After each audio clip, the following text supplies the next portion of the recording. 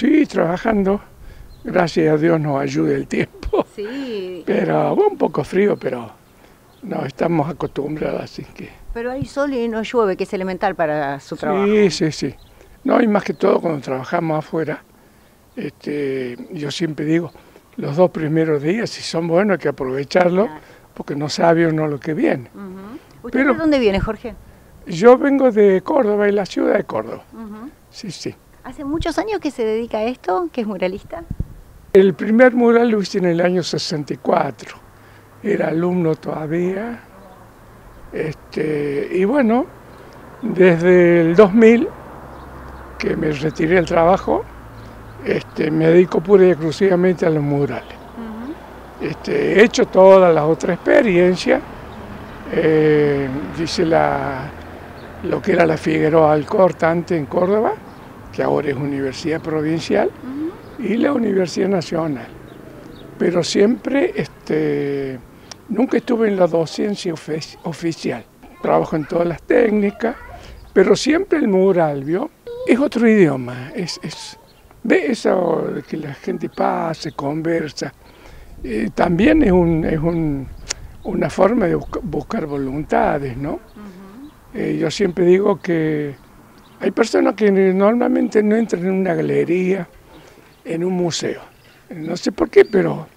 Y bueno, el mural hace que, eh, por una casualidad, tropiece con una obra de arte y bueno, ya se va entablando un diálogo. El contacto con el artista. También, sí, sí, no, claro. Eh, nosotros eh, trabajamos con la temática de el cooperativismo.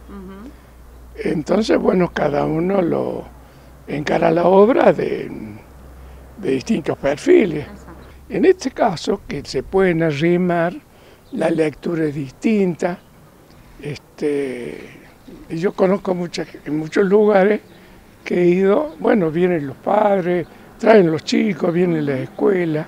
Lo encaré por este lado, al cooperativismo, porque en realidad una, una planta fabril, este, hay, hay una comunión entre toda la gente, así que nosotros ahora vamos a tener cinco días.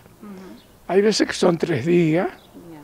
hay otras técnicas que se trabaja con cementos, con ferrites.